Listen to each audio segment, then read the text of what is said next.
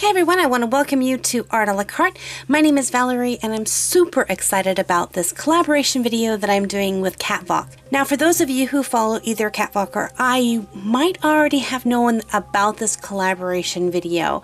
We actually made an announcement a few weeks ago um, that we were going to be doing a collaboration together and we needed your help. So what happened is we chose a generalized theme. We were going to do mermaids because I love drawing mermaids and we let you guys choose the theme of the mermaid. So if you're from Kattvalk's channel or voted on Kattvalk's video, the winning vote is what I am creating. And if you voted on my channel, then you will definitely want to go over to Kattvalk's channel and see which vote won and see what she created.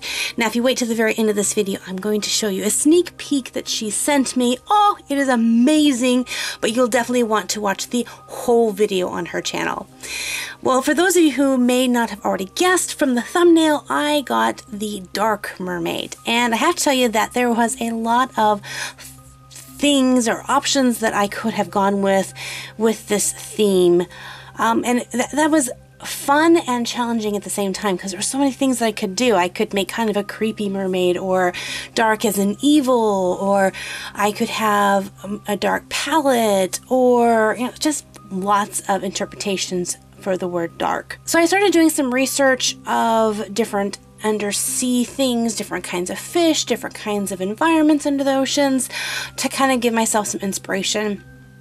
And I came up with an idea of really physically doing it dark. Like when you go down to the very deep parts of the ocean and you see those kind of glowing fish like the anglerfish and just the really beautiful translucent jellyfish and there's just these creatures that glow down there and I thought that would be so cool to kind of create a mermaid who is really who lives in this deepest darkest ocean who never sees light and that kind of has that glowing aspect about her. But then to actually get the idea out of my head and put it onto paper is an entirely different thing. And this piece of artwork was a journey, a huge journey, and I'll be sharing the definite highs and lows with you in this video. So the first thing I want to share with you is a sketch that this was actually a sketch I did while I was on jury duty, and this was the inspiration for the actual composition of the piece. I spent so much time just inking this in, it was ridiculous. And once I got it inked in, I really was scared to take it the next step because literally this took me eight hours to ink in and I didn't want to ruin it. So I decided to do something, uh, play it safe and just begin to put in the background. So I went and grabbed some Indian ink and I chose an Indian ink that I hadn't used this brand before. And that is a first big no-no. Never use an art product that you do not know exactly what it's going to do. The Indian ink that I have used in the past, uh, once it dries, it sets and there's no moving it. Not with this stuff. It touches anything and it just re Indian inkifies. Not only that, but while I was painting the outline bordered, I flicked my paintbrush and this fine mist of almost invisible drops of ink went all over my painting. And I thought, but they're so tiny that you wouldn't notice. And until I began to put my Copic markers over top of them and they began to smear. I almost started crying when this happened. She looked like she had leprosy or something. And the more I tried to to lighten them up, the just the smearier and globbier they looked. And I mean, they were just right in the middle of her face. Oh, I was so sad I didn't want to give up because I love this piece. So here is my advice for you guys. If you make a mistake on your picture, don't give up on it right away. You may think, there's a dot right in the middle of her nose. What am I going to do with that? You can work with it. I went to the part of the picture that I was most excited about, which is her eyes, and I just made them as beautiful as I could. I wanted her eyes to give me hope to finish this picture. And believe me, anytime you see me going back to work on her eyes was because I was losing hope in this picture, and I had to get back to those eyes to make myself push through. You can fix just about anything. So I did. I kept I kept going. and the picture just began to blossom. And I do not show you all of the creation of this process. Literally, this took me over 52 hours, seriously, of work. I sat from morning till evening for three days working on this piece, um, just getting up long enough to stretch my legs, eat something, and then come back and work. So A lot of work went into this. Uh, later on in the video, you'll see how I kind of fixed the problem that I have with the smudges on her face. I decided to go ahead and give her a pattern to her face. If I can't get rid of the dots, I'll cover the dots up with more dots. So you'll kind of see me giving her this kind of pattern. And it actually turned out really, really cool. As you continue to watch the creation of this piece, let me go ahead and share a little bit with you guys about my channel and what I do here. On this channel, I create art videos, tutorial videos, speed drawing videos, challenge videos, creative process videos, and whatever kind of other videos I sometimes throw out there. I try to keep them all art related, but sometimes, you know, I throw the random odd vlog in just for fun. I've been seriously pursuing art for the last 25 years, but I have been drawing since I was three, so that it was more than 25 years, actually going on about 35 years. And I love drawing. I've taken a few classes, but really have never had any formal training, just self taught, watching other artists create and trying to emulate that. And my philosophy is that anyone who really wants to learn how to draw can draw that there's it's not like just this born gift that you have that either you can draw or you can't draw.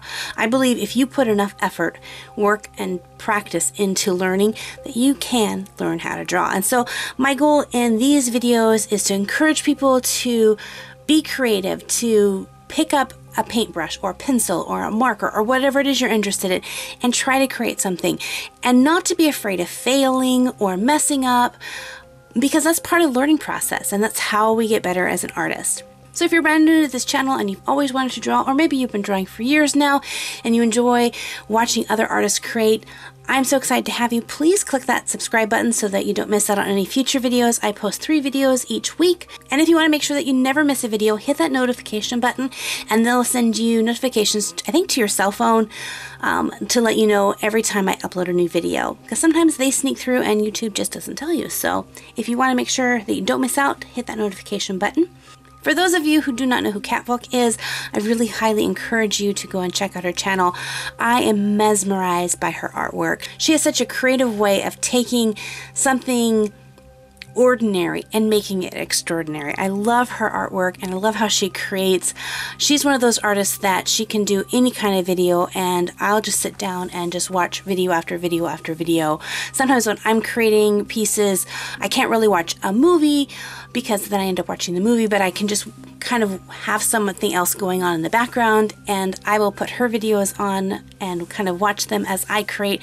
It just inspires me to want to be artistic and to create pieces. So as I'm really excited for you guys to check out her channel, I feel that she will just be such an inspiration to you guys as well. And I'm so happy that she agreed to do this collaboration video with me.